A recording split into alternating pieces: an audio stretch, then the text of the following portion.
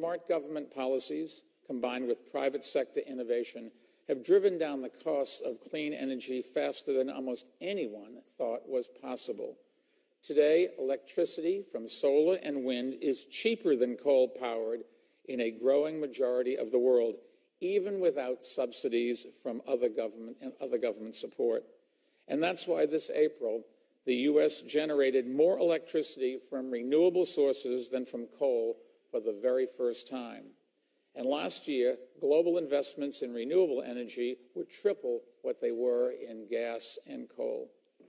That wouldn't have been possible without cooperation between the public and private sectors.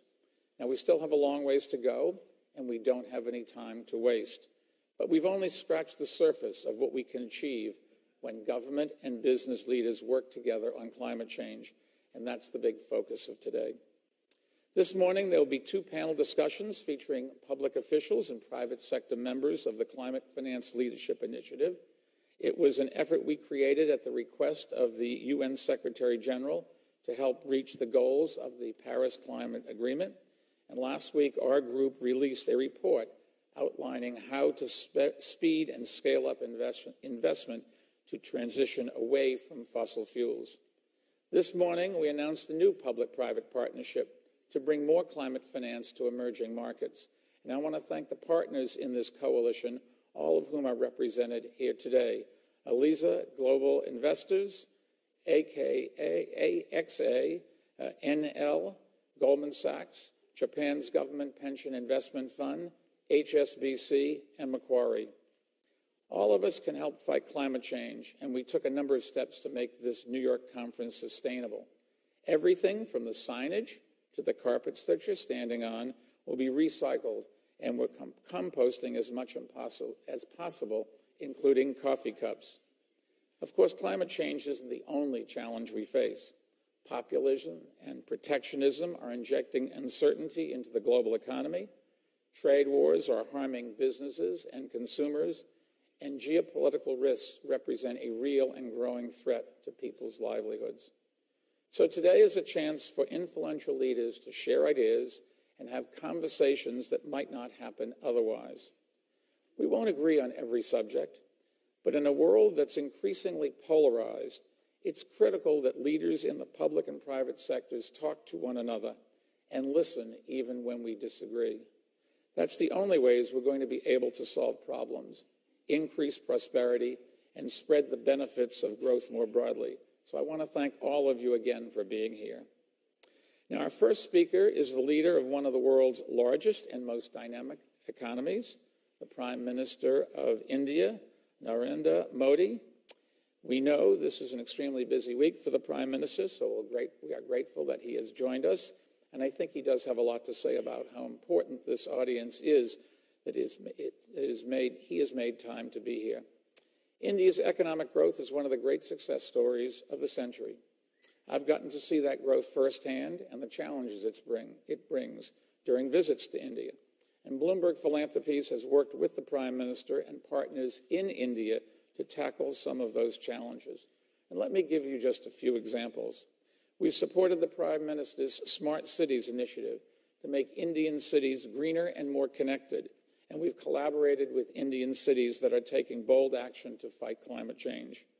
We're working to support his administration's National Clean Air Program to reduce air pollution throughout India. We've supported India's work, make, work on making roads safer for everyone, and the Prime Minister deserves a lot of credit for the new National Road Safety Bill that he just signed into law, which will save an enormous number of lives. So I want to congratulate the Prime Minister for taking strong action to protect people from e-cigarettes, which our foundation is also working on here in the United States. The Prime Minister has set ambitious goals for India's future and how to reach them. And I'm glad to announce two new partnerships with Bloomberg that will lead in India. First, Bloomberg will help India navigate the process for gaining inclusion in global market, global market benchmark indices so that international investors can access India's bond market. That will help Indian businesses raise funds to invest and grow, and it will help India's government raise funding for infrastructure and public service. Second, Bloomberg will support the development of the international financial services sector at Gujarat International Finance Tech City, also known as GIFT or the Gift City. Gift City was envisioned by Prime Minister Modi as a 21st century digital connected international financial center and engine for new jobs.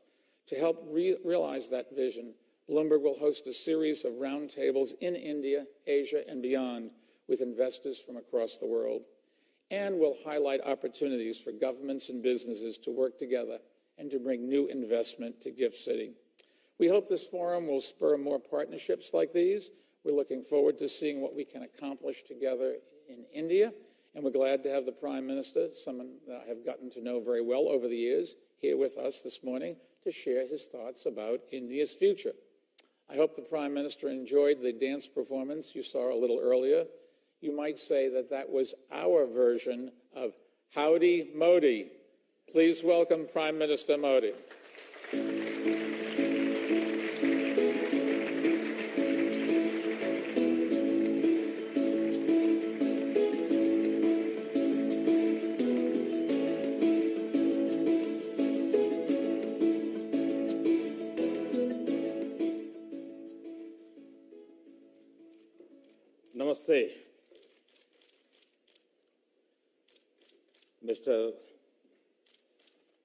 Michael Bloomberg,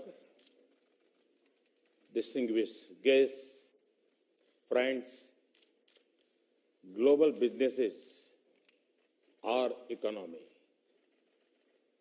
और उसका nerve centre यानी New York और New York में आप सभी दिग्गजों के बीच आना मेरे लिए हर्ष का विषय है। ब्लूमबर्ग ग्लोबल बिज़नेस फोरम ने मुझे भारत की भावनाओं और संभावनाओं पर भारत की अपेक्षाओं और उम्मीदों पर, भारत की ग्रोथ स्टोरी और भारत के फ्यूचर डायरेक्शन पर अपनी बात रखने के लिए अवसर दिया। इसके लिए मैं उनका बहुत बहुत आभारी हूँ। साथियों, आज आप भारत में फिर उस सरकार को देख रहे हैं जो अपने पाँच साल के काम को लेकर जनता के बीच गई और पहले से ज़्यादा संख्या लेकर के जनता ने फिर से उसको सेवा का अवसर दिया। आप लोग अपनी बातचीत में अक्सर बिज़नेस सेंटीमेंट की बात करते हैं।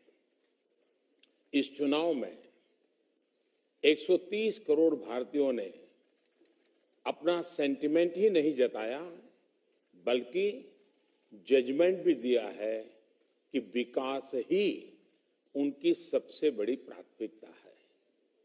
और यहाँ बैठे बिज़नेस लीडर समझ सकते हैं कि विकास के पक्ष में यह सबल मैंडेट वास्तव में भारत में नए अवसरों को का एक प्रकार से ऐलान है। आज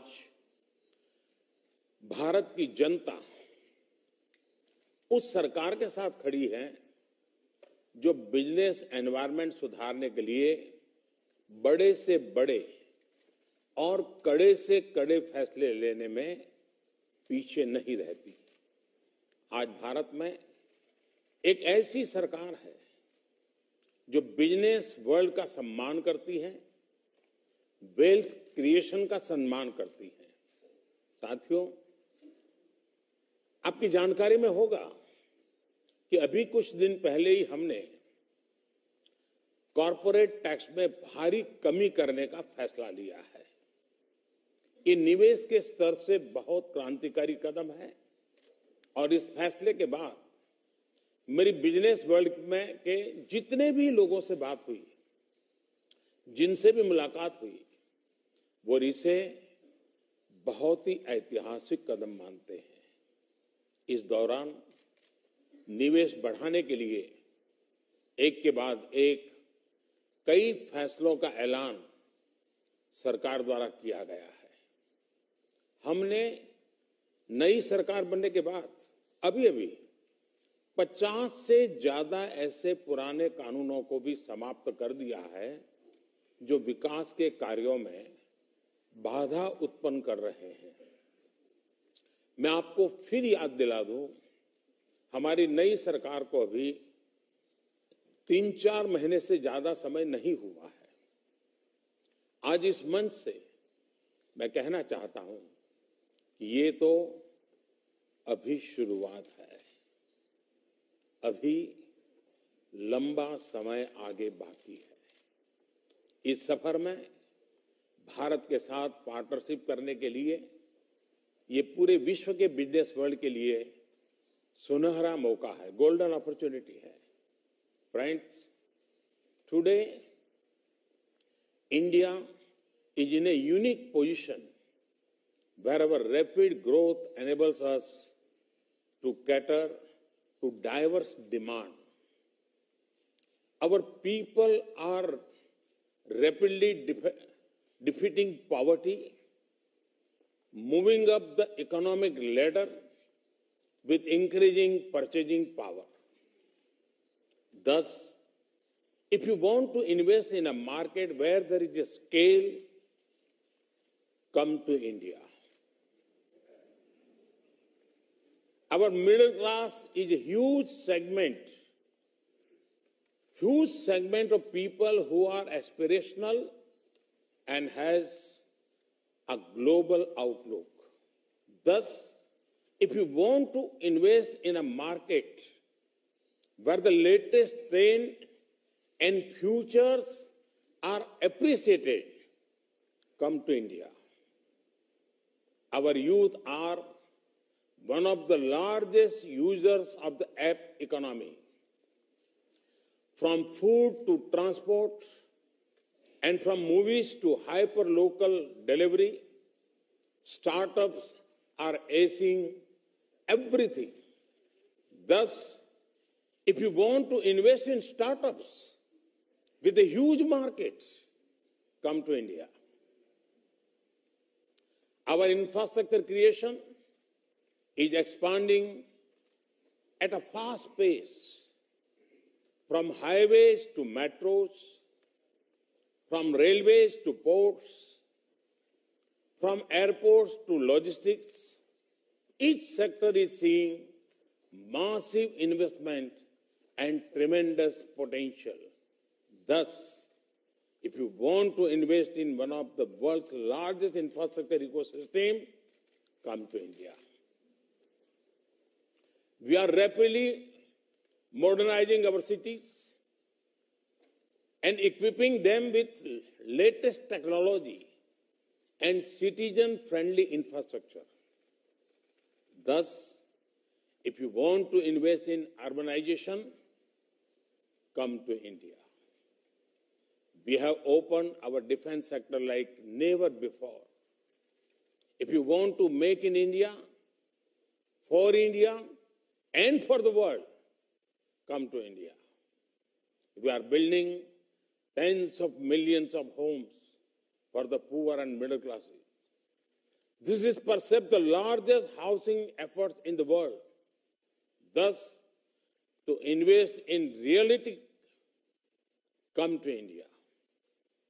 साथियों भारत में इंफ्रास्ट्रक्चर के विकास पर आज जितना हमारी सरकार निवेश कर रही है, उतना पहले कभी नहीं किया गया। अब हम आने वाले वर्षों में 100 लाख करोड़, यानी लगभग 1.3 ट्रिलियन डॉलर आधुनिक इंफ्रास्ट्रक्चर पर खर्च करने जा रहे हैं। इसके अलावा भारत के सोशल इंफ्रास्ट्रक्चर पर भी लाखों करोड़ रुपए खर्च किए जा रहे हैं।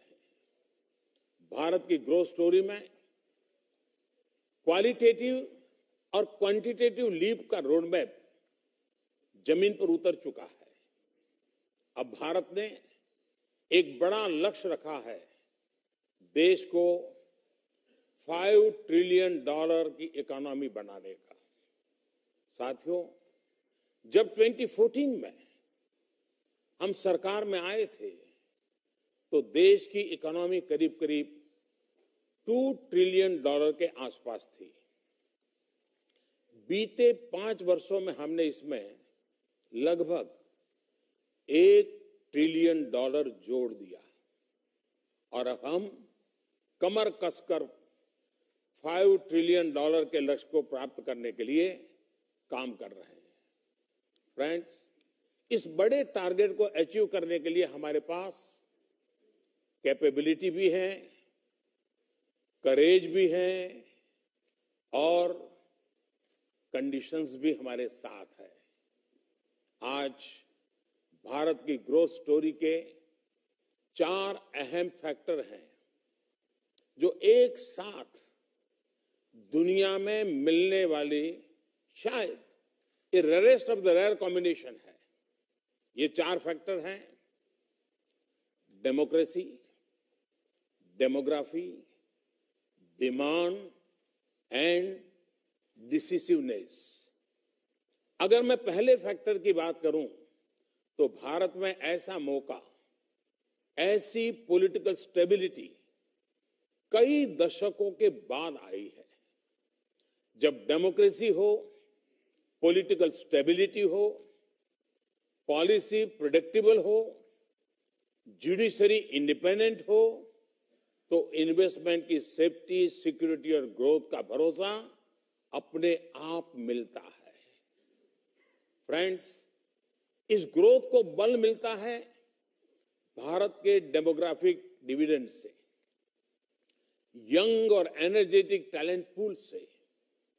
भारत आज दुनिया के सबसे बड़े इंजीनियरिंग एजुकेशन बेस और सबसे मज़बूत आर एंड डी फैसिलिटीज़ वाले देशों में से एक है। इनोवेशन को लेकर जो एनकरेजमेंट भारत के युवाओं को मिल रहा है, उसके कारण अमेरिका और चीन के बाद भारत यूनिकॉर्न्स के मामले में तीसरे नंबर पर है थर्ड नंबर पर है। फ्रेंड्स तीसरा डिमांड का फैक्टर है। जैसे जैसे भारत की बड़ी आबादी इकोनॉमिकली एम्पावर्ड हो रही है, परचेजिंग पावर बढ़ रही है वैसे वैसे डिमांड भी बढ़ रही है। उदाहरण के लिए, पिछले कुछ वर्षों से एयर पैसेंजर्स ट्रैफ़िक की ग्रोथ डबल डिजिट में है, जिसके चलते आज भारत दुनिया का तीसरा बड़ा एविएशन मार्केट बन चुका है। फ्रेंड्स, डेमोक्रेसी, डेमोग्राफी और डिमांड के साथ ही आज जो बात भारत को विशेष बनाती है, वो है डिसिसिवनेस।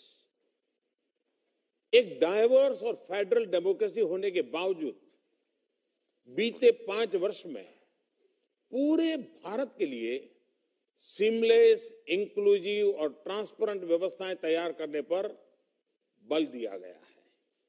जहाँ पहले भारत में टैक्स का जाल था, वहीं अब जीएसटी के रूप में एक ही इनडायरेक्ट टैक्स रिजिम पूरे देश के बिज़नेस कल्चर का हिस्सा बन चुकी है।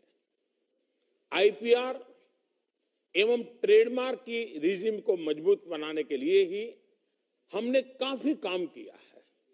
इसी तरह इंसॉल्वेंसी और बैंक से निपटने के लिए इंसॉल्वेंसी एंड बैंक कोड बनाया।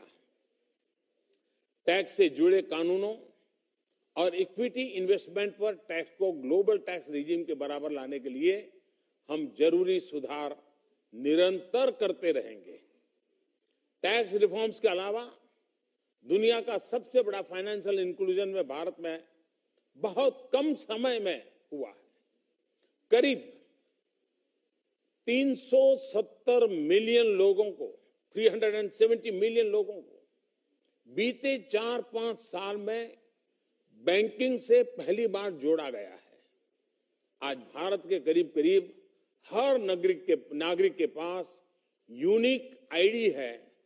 मोबाइल फ़ोन और बैंक अकाउंट है, जिसके कारण टारगेटेड सर्विस डिलीवरी में तेज़ी आई, लीकेज बंद हुई और ट्रांसपेरेंसी कई गुना बढ़ी है। फ्रेंड्स, न्यू इंडिया में हमने डी रेगुलेशन डी लाइसेंसिंग और डी बॉटलनेकिंग की मुहिम चलाई है। ऐसे ही रिफॉर्म्स के कारण हर ग्लोबल रैंकिंग में भारत निरंतर बेहतर प्रदर्शन करता जा रहा है। लॉजिस्टिक परफॉर्मेंस इंडेक्स में टेन रैंक का जंप, ग्लोबल कॉम्पिटिटिवनेस इंडेक्स में थर्टीन अंक का उछाल, ग्लोबल इनोवेशन इंडेक्स में 24 नंबर का सुधार और सबसे अहम world bank ease of doing business index में 65 रैंक का सुधार अभूतपूर्व है, असाधारण है। और साथियों, आप सभी ये भी भली भांति जानते हैं कि ये रैंकिंग ऐसे ही नहीं सुधरती। हमने बिल्कुल ग्राउंड लेवल पर जाकर व्यवस्थाओं में सुधार किया है, नियमों को आसान बनाया है। मैं आपको एक उदाहरण देता हूँ। पहले बिजली कनेक्शन लेने के लिए उद्योगों को कई साल लग जाते थे। अब कुछ दिनों के भीतर बिजली कनेक्शन मिलने लगा है। इसी तरह कंपनी रजिस्ट्रेशन करने में पहले कई हफ़्ते लग जाते थे। अब कुछ ही घंटों में कंपनी रजिस्ट्रेशन हो जाता है। बीते पाँच वर्ष में क्या परिवर्तन आया, इसका एक उदाहरण मैं आपको देता हूँ। बीते पाँच सालों में भारत में 286 बिलियन एफडीआई हुआ है। ये बीते 20 साल में भारत के टोटल एफडीआई फ्लो का आधा है 50 परसेंट है। अमेरिका ने भी जितना एफडीआई बीते दशकों में भारत में किया है, उसका 50 परसेंट सिर्फ़ पिछले चार साल में हुआ है। और ये तब है जब पूरी दुनिया में एफडीआई इनफ्लो लेवल लगातार कम हो रहा है। इसमें भी एक और इंटरेस्टिंग बात यह है कि करीब 90 परसेंट एफडीआई ऑटोमेटिक रूट से हुआ है। और 40 परसेंट ग्रीनफील्ड इन्वेस्टमेंट है। यदि आज इन्वेस्टर का भारत पर भरोसा बढ़ा है और वो लंबे समय के लिए आ रहा है फ्रेंड्स ब्लूमबर्ग की अपनी रिपोर्ट में भी भारत में आ रहे बदलाव की गवाह है। ब्लूमबर्ग के नेशन ब्रांड ट्रैकर 2018 सर्वे में भारत को इन्वेस्टमेंट के लिहाज से एशिया में पहला नंबर दिया गया है। दस में से सात indicators political stability currency stability high quality products anti corruption low cost of production strategic location और रिस्पेक्ट फॉर आईपीआर इन सब में भारत नंबर एक पे रहा। बाकी इंडिकेटर्स में भी हम काफ़ी ऊपर हैं। Friends your desires and our dreams match perfectly your technology and our talent can change the world your scale and our skills can speed up global economic growth. Your prudent method and our pragmatic mind can write new stories in management. Your rational ways and our human values can show the path which the world is looking for. And if there is any gap anywhere, I will personally act as a bridge. Thank you. Thank you very much.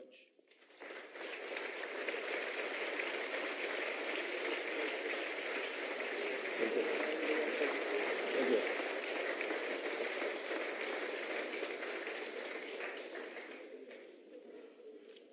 Thank you. Very much. Thank you.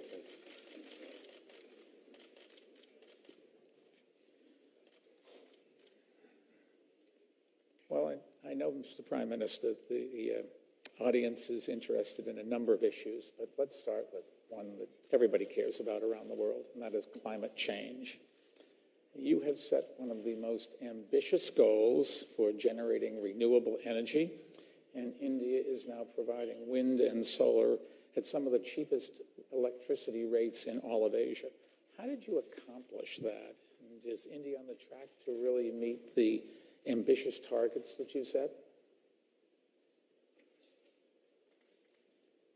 मैं आपका बहुत आभारी हूँ कि आपने विश्व के लिए जो सबसे बड़ी चिंता का विषय है, उसको स्पर्श किया है। और मैं जानता हूँ आप स्वयं भी इस विषय पर कमिटेड हैं, आपका एक कमिटमेंट है, आपका कन्विक्शन है। ये बात सही है कि भारत की जो लाइफस्टाइल है, वो दुनिया के लिए एक बहुत बड़ा उदाहरण है। हम लोग सिद्धांततः इस बात को मानने वाले लोग हैं कि पृथ्वी हमारी माता है और हमें उसका एक्सप्लोइटेशन करने का अधिकार नहीं है। हमें सिर्फ़ मिल्किंग का ही अधिकार है, दोहन का अधिकार है। भारत मूलतः उस चिंतन से जुड़ा हुआ है जहाँ नीड समझ सकते हैं, ग्रीड का कोई उपाय नहीं है। तो ये मूलभूत तत्व ज्ञान और मैं मानता हूँ कि दुनिया में ग्लोबल वार्मिंग के चैलेंज को सरकारें बाकी व्यवस्थाओं से ज़्यादा नागरिक की बिहेवियर ही इस परिस्थिति से दुनिया को बाहर ला सकती है। और इसलिए ह्यूमन बिहेवियर को हमें नेचर के साथ जोड़ करके चलने की आदत बनानी पड़ेगी।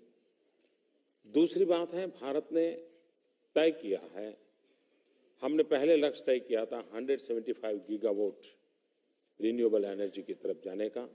मुझे आज खुशी है कि समय से बहुत आगे हम चल रहे हैं और करीब करीब 120 गीगावोट का काम हमने ऑलरेडी अचीव कर लिया है। और कल मैं जब यूएन में बोल रहा था तो मैंने अपने लिए एक नया टारगेट तय किया है 450 गीगावोट का। और निकट भविष्य में हम 450 गीगावोट रिन्यूएबल एनर्जी के क्षेत्र में जाएँगे। इसको करने के लिए हमने एक तो पॉलिसी इनिशिएटिव लिए हैं, दूसरा इंसेंटिव्स दिए हैं, तीसरा हमारी कोशिश है कि इसके लिए जो आवश्यक संभावना है, उसको बल दिया जाए। हमारे सामने एक चुनौती अभी भी है, और वो है न्यूक्लियर एनर्जी की। क्योंकि हम एनर्जी के मेंबर न होने के कारण हमें जो फ्यूल की सप्लाई की सुविधा रहनी चाहिए, वो नहीं रहती है। अगर हमारा वो सॉल्यूशन हो जाता है तो शायद हम दुनिया में एक मॉडल के रूप में इस क्षेत्र में काम कर सकते हैं।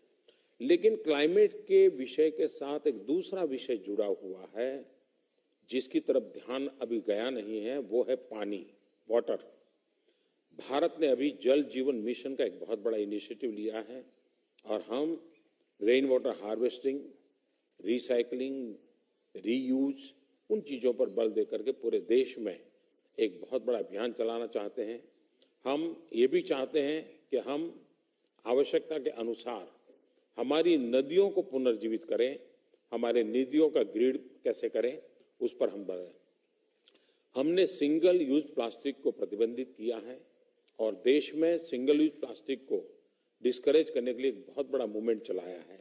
ये दो अक्टूबर को महात्मा गांधी की जन्म जयंती के अवसर पर पूरे देश में सिंगल यूज़ प्लास्टिक के खिलाफ एक बहुत बड़ी मुहिम हम सफलतापूर्वक करें यानी हम क्लाइमेट को लेकर के एनवायरमेंट को लेकर के अनेक क्षेत्रों पर एक साथ आगे बढ़ रहे हैं You talked about plastic, water, uh, renewables. Do you have any expectations of reducing the amount of coal that is burnt in India?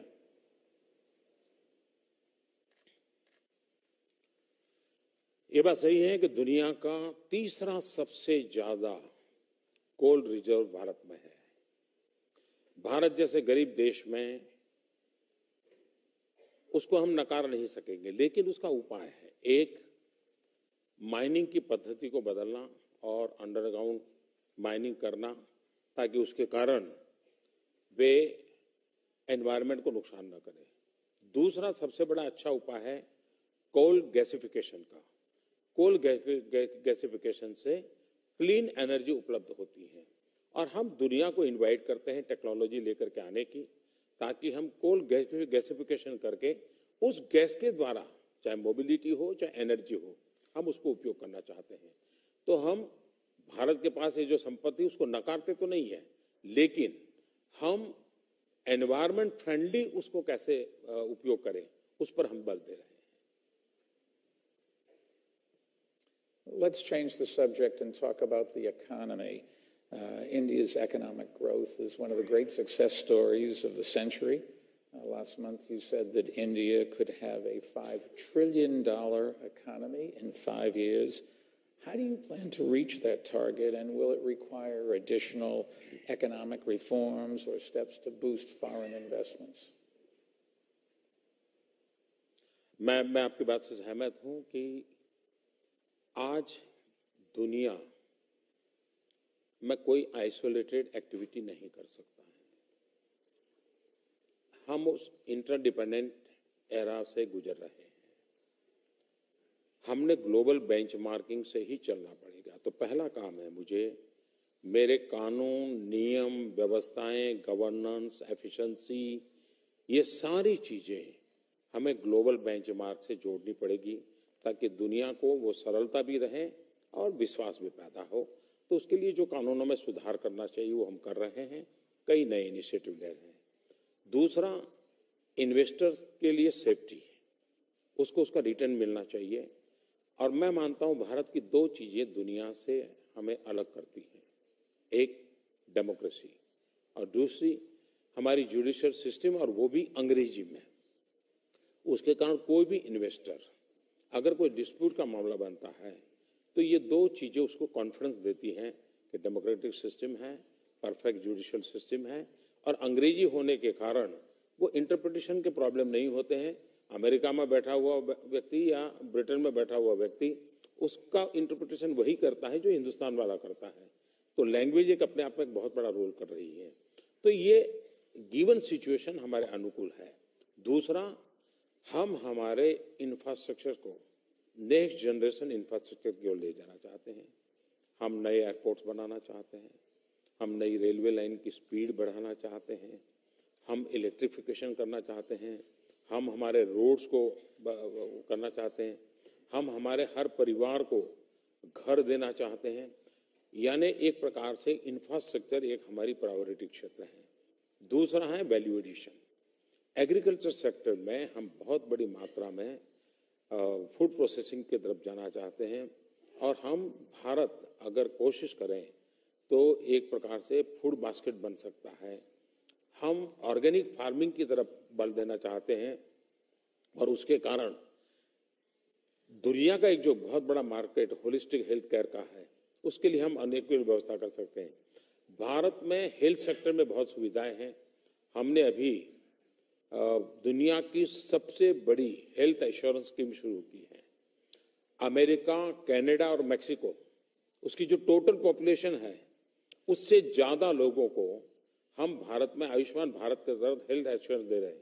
इसका मतलब कि मुझे मेरे देश में 2000 नए आधुनिक हॉस्पिटल के इंफ्रास्ट्रक्चर की और हॉस्पिटल निर्माण की संभावनाएँ पैदा हुई है, जिसमें रेस्ट एश्योर्ड इनकम है, क्योंकि गवर्नमेंट पेमेंट देने वाली है।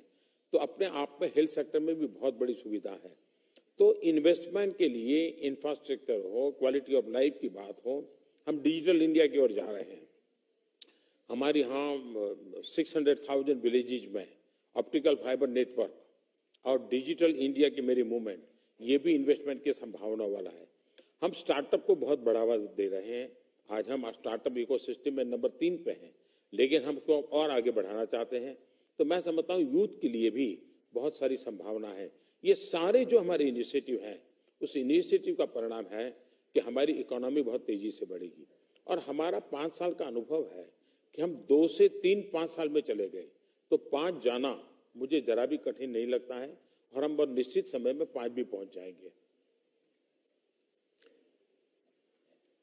In spite of all of the new technology that keeps getting introduced around the world, the real key to economic growth is still the workforce.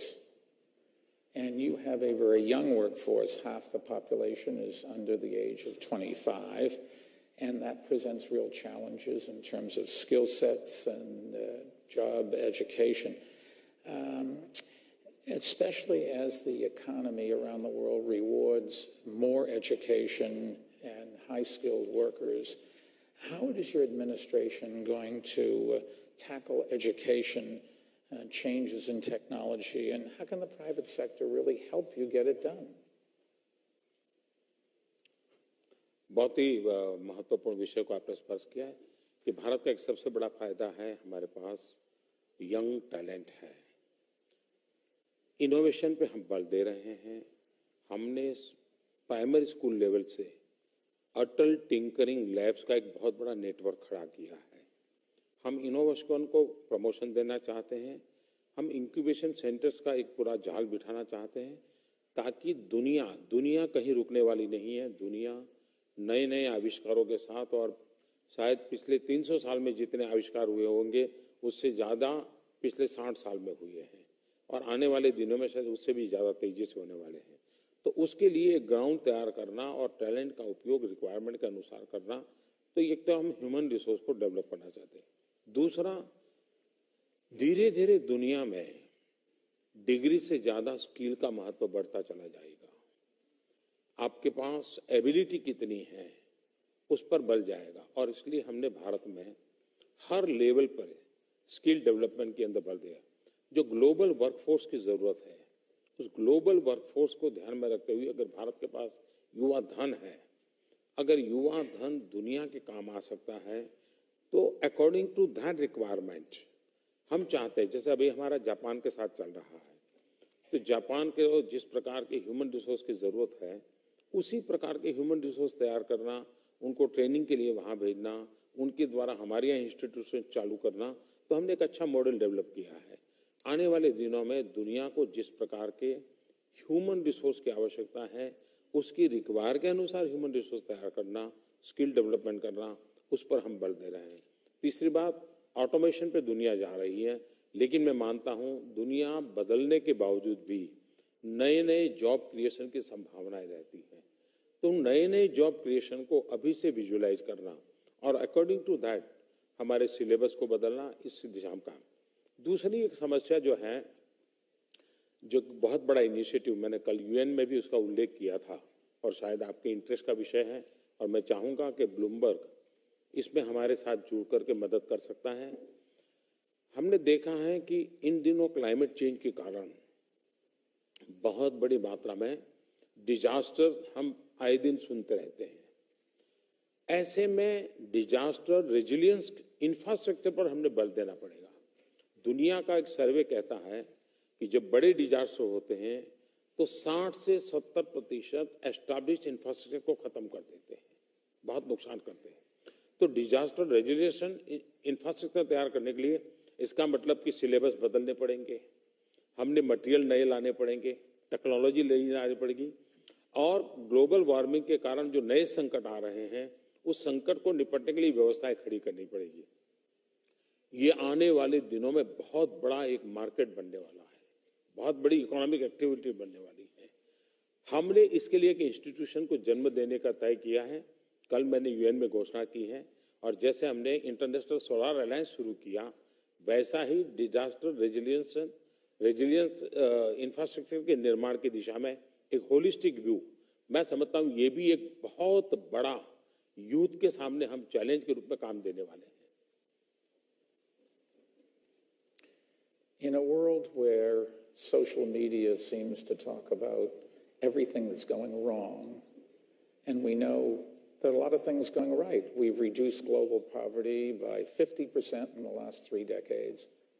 How do you and other leaders get a good message out when the press really says that's not what people want to hear. They want to hear sensationalism and failure and all the bad things, and we know that's not true. What, what, what should a leader do today? It's a different world.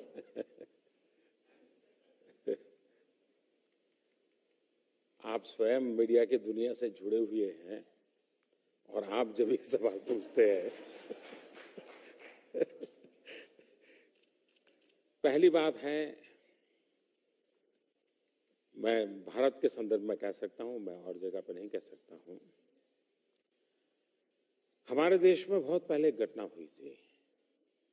Kandahar में हमारा एक women hijack हुआ था और उसमें करीब सैकड़ों की तादाद में हमारे पैसेंजर्स थे टेररिस्टों ने उनको बैन में रखा हुआ था। लेकिन उस समय नया नया इलेक्ट्रॉनिक मीडिया था टीवी था। और उन्होंने जो परेशान हुए, जो नागरिक थे, उनकी कथाओं को इतना फ्लैरअप कर दिया कि वहाँ जो टेररिस्ट बैठे थे, उनका हौसला बढ़ गया। उनको लगने लगा कि देखिए, हिंदुस्तान में तो सरकार के ऊपर इतना दबाव है कि अब टेररिस्ट जो क्या चाहेंगे वो हो जाएगा। तो मुझे बराबर याद है कि भारत के टीवी वालों ने खुद ने एक मीटिंग किया था और आत्मनिरीक्षण किया था कि हमने कितनी गलतियाँ की। हमने इन गलतियों को कैसे सुधारना। और मुझे वो एक अच्छा इनिशिएटिव लगा था। लेकिन धीरे धीरे मैं देख रहा हूँ ये चीज़ें हट गई हैं क्योंकि कंपटीशन है और ऐसी कंपटीशन में जल्दी न्यूज़ देना गर्मा गर्म न्यूज़ देना, जरा तीखे तमतमते न्यूज़ देना, ये ये एक कंपटीशन का युग हो गया है तो वहाँ क्या सुधार होगा कि नहीं होगा, कहना कठिन है। सोशल मीडिया ने एम्पावरमेंट के लिए एक बहुत बड़ी ताकत दी है। आज कोई भी खबर, कोई भी व्यक्ति पहुँचा सकता है तो एक प्रकार से डेमोक्रेसी का एक बहुत पावरफुल इंस्ट्रूमेंट सोशल मीडिया के रूप में मैं देख रहा हूँ। लेकिन दुर्भाग्य से ऑर्गेनाइज वे में नेगेटिव चीज़ों को प्रचारित करने का प्रयास हो रहा है। अच्छा है कि कुछ मीडिया ने डेली पंद्रह मिनट, बीस मिनट, आधा घंटा फेक न्यूज़ को उजागर करने के कार्यक्रम शुरू किए हैं। धीरे धीरे regular media social media fake news से क्या क्या नुकसान हो रहा है, उस पर अगर बल देंगे तो मैं समझता हूँ स्थिति सुधरेगी। दूसरा फॉरवर्ड करने की जो फ़ैशन है मुझे लगता है टेक्नोलॉजी के लिए कोई सॉल्यूशन लाना पड़ेगा कि जिसमें कोई न्यूज़ आता है तो वेरिफिकेशन की कोई संभावना बने। तब जाकर के हम रोक पाते हैं, लेकिन मैं खुद सोशल मीडिया पर बहुत एक्टिव हूँ, बहुत सालों से एक्टिव हूँ, और मैंने, मुझे उसके बेनिफिट भी मिले हैं। मैं मैं देख रहा हूँ कि दूर सुदूर गाँव में कोई छोटी भी घटना मुझे सोशल मीडिया से पता चलती है तो मैं गवर्नमेंट को तुरंत एक्शन में लाता हूँ। मुझे बयान देने की ज़रूरत नहीं पड़ती, लेकिन मैं एक्शन में तो गुड गवर्नेंस के लिए जो नीचे से इंफॉर्मेशन आनी चाहिए, उसके लिए सोशल मीडिया एक बहुत बड़ी ताकत है। और मैं मानता हूँ, अगर सेंसिटिव गवर्नमेंट्स हो गुड गवर्नेंस का मोटो हो तो इंफॉर्मेशन के लिए सोशल मीडिया एक बेस्ट टूल है। और उसी प्रकार से, जैसे मेरे यहाँ बाढ़ आई तो मैंने सोशल मीडिया के through man I was in Gujarat मेरे यहाँ एक नदी है मही नदी। वहाँ पाँच साल में एक बार बाढ़ आती है। लेकिन एक बार, एक साल में पाँच बार बाढ़ आई। और गवर्नमेंट मशीनरी भी थक जाए। लेकिन मेरे पास सोशल मीडिया का नेटवर्क था। तो मैं मैसेजिंग करता था। तब तो लैंग्वेज में हमारे मैसेजिंग की सुविधा उतनी नहीं थी। तो मैं रोमन लिपि में ही गुजराती मैसेज देखता था। और आप हैरान हो जाएँगे कि एक साल में पाँच बार बाढ़ आई। एक भी पशु नहीं मरा, एक भी नागरिक नहीं मरा प्रॉपर्टी का नुकसान ज़रूर हुआ। लेकिन हम लोगों को बचा पाए and that was just with the help of social media network इसलिए मैं मानता हूँ कि गुड गवर्नेंस के लिए सोशल मीडिया को पॉजिटिवली उपयोग किया जा सकता है। तो अगर एक नेता के रूप में आप कहते हैं कि एक सरकार के मुखिया के रूप में कहते हैं तो मैं सोशल मीडिया को गुड गवर्नेंस का एक अच्छा हथियार के रूप में उपयोग करने के पक्ष में हूं और मैं उसकी काफी कोशिश कर रहा हूं Well, Mr. Prime Minister, our scheduler keeps flashing us a message saying we're out of time, but I wanted to thank you for generously giving us your time. Uh, American Indian relations, I hope, will continue to improve. You've just been reelected. uh, use your time in office wisely. We need a strong India.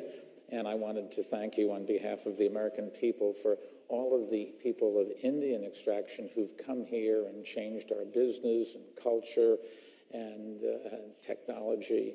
Uh, we have a great relationship and we want to make that better. So thank you very much.